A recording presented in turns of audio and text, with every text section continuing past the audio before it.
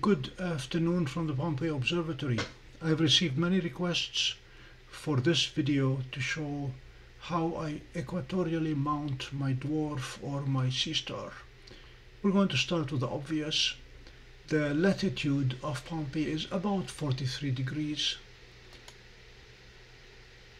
You can get, I got an 8 inch angle bracket from the hardware store. I have a vise that allows me to grab on the angle bracket and a 2 inch pipe to allow me to bend the angle bracket.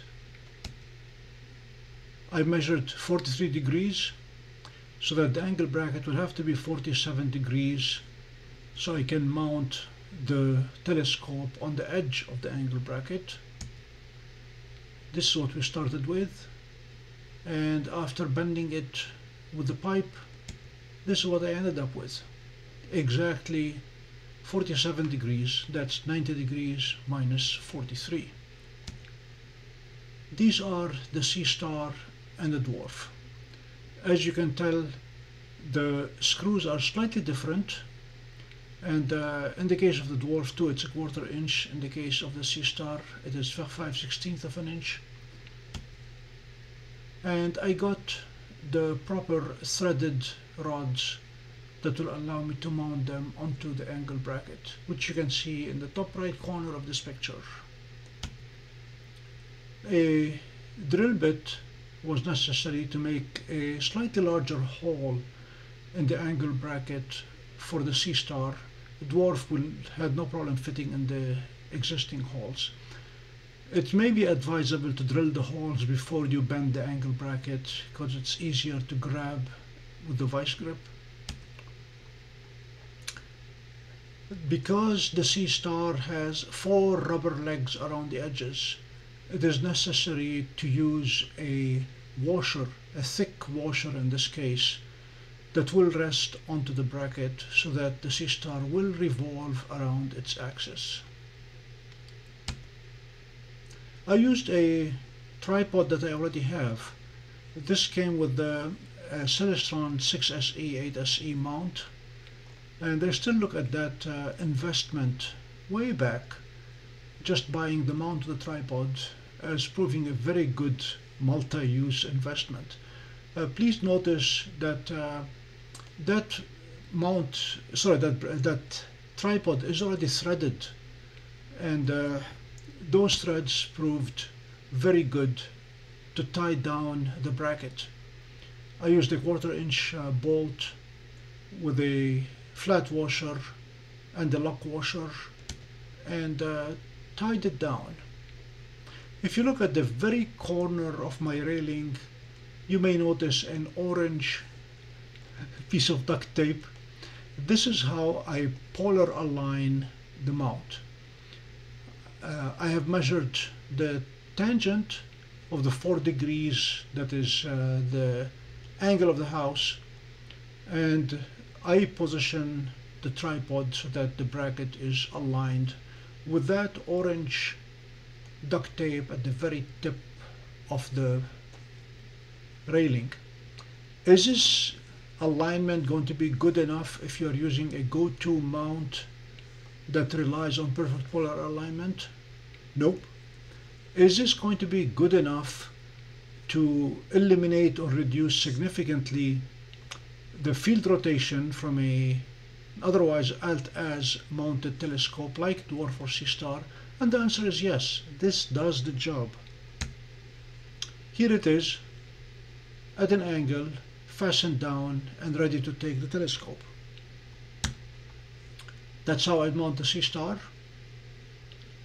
It is uh, pointed towards Polaris or towards the North Celestial Pole for all intents and purposes. And before you start with the calibration, make sure that you do not skip horizontal calibration.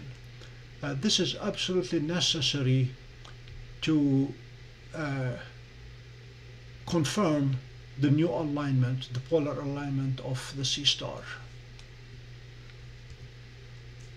I put the Seestar on and I tried to measure the level and it told me adjust the tripod until the two circles coincide and uh, that you are 47.1 degrees off.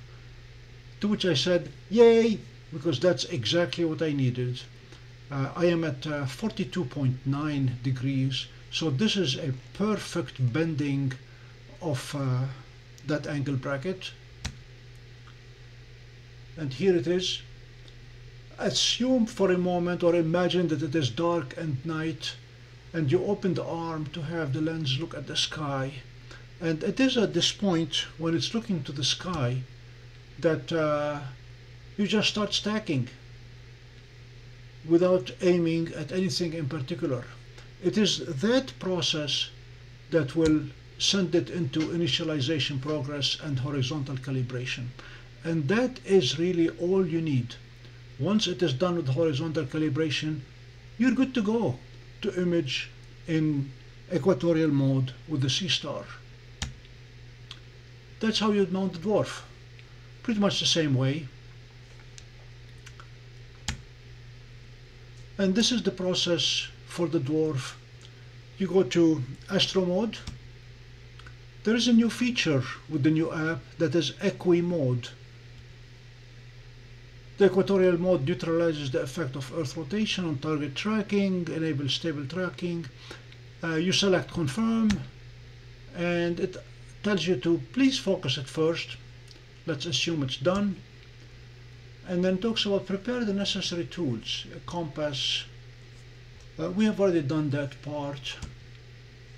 It asks whether the location is correct. In our case, it's uh, Pompey, New York. We are close enough otherwise you can set it manually and it tells you to mount it please note that the angle here is the angle of uh, the dwarf relative to the horizon the angle that I was working with earlier was the angle of the bracket relative to the horizon and dwarf was at 90 degrees of the bracket so we're talking about the same thing that angle is 43 degrees either way